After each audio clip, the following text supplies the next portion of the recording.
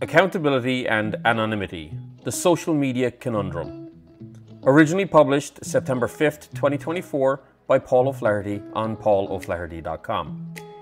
Alternative title for this episode Of Mouse and Man The Courage of Being Anonymous. It's funny how this started. I recently posted an image to my Threads account of my purple Xbox controller and the mouse that I use, calling them my weapons of choice for work and play.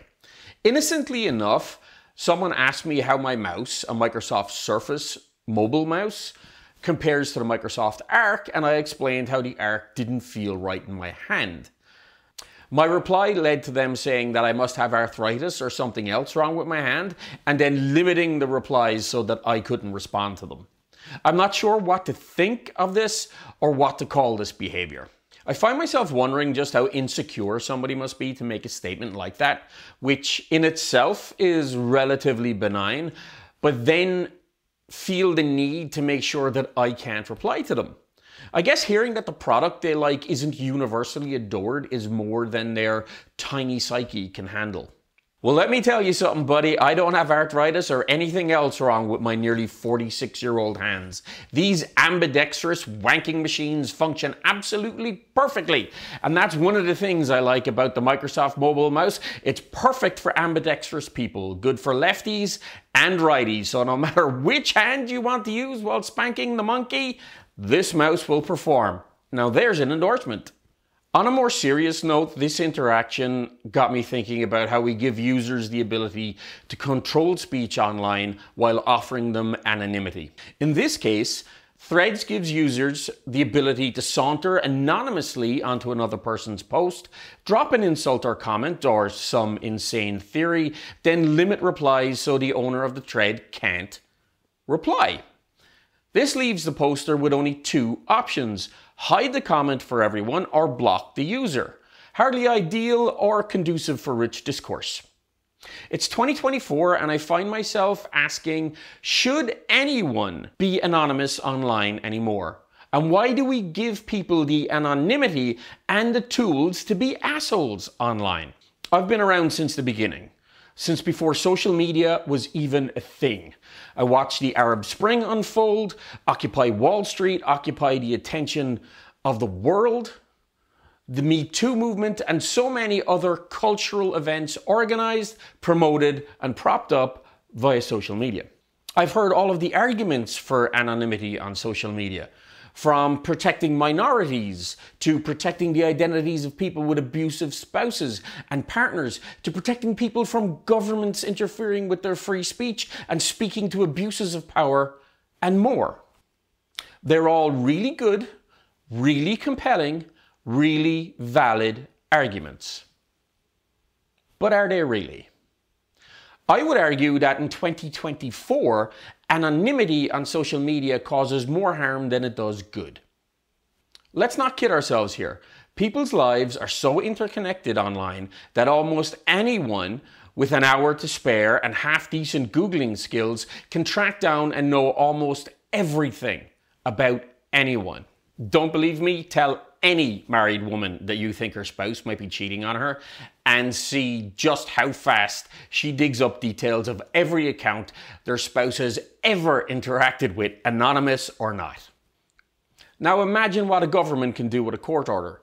And a lot of times they don't even need that. A request from law enforcement will do to compel social media companies to hand over user data. We're not even talking about employing any effort. So while social media anonymity might present a veneer of security, it's really just that a thin, flaky veneer. Scratch the top at all and it crumbles. Which brings me back to why allowing anonymity on social media causes more harm than good.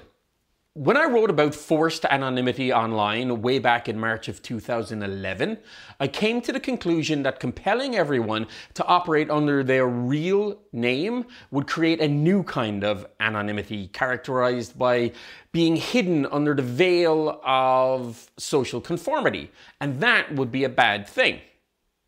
I was wrong. Social conformity is the thing that makes societies work. Yes, you have outliers. Yes, you have rebels. And they can push the system forward and make changes that make things better. But overall, society works because we all agree to laws, rules, modes of behavior, and other things that are acceptable to us as a collective. The collective citizenry must live, work, play, and thrive. And in the real world, in real society, anonymity, with few exceptions, is generally seen as unacceptable, as the antithesis of civilized behavior. It's cloak and dagger shit, and that never ends well. Today, the only people that are getting anything from anonymity online are the assholes. The racists, the homophobes, the trans haters, the bigots, the collective anal leakage of humanity. If you get my drift. They get a sense of empowerment because they grab that anonymity and hold it close to them like a Nazi flag security blanket. And that makes them feel enabled, entitled, and safe to spout their hate and vitriol. Worse, their collective feeling of empowerment trickles upwards, one of the few times they'll admit anything does, emboldening the Musks, Tates, Rowlings, and other hate mongers, which then creates an increasingly dangerous cycle as their fame encourages even more anonymous cretins. It's the perceived anonymity that platforms the circle jerk of hatred and grants it a veneer of legitimacy. And what foul acts hasn't social media encouraged or enabled?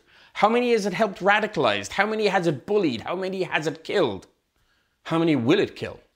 Let's not kid ourselves here. The extremism, the hatred that is championed by X, Shitter, Truth Social, and others, and that leaks into every platform, isn't going away anytime soon.